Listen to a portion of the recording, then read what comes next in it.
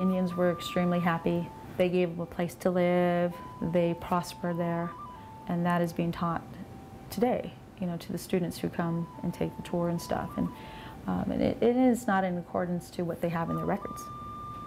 What's in their records, it's, it's, it reflects poorly on the positives over there. And of course, this is not something they're going to say.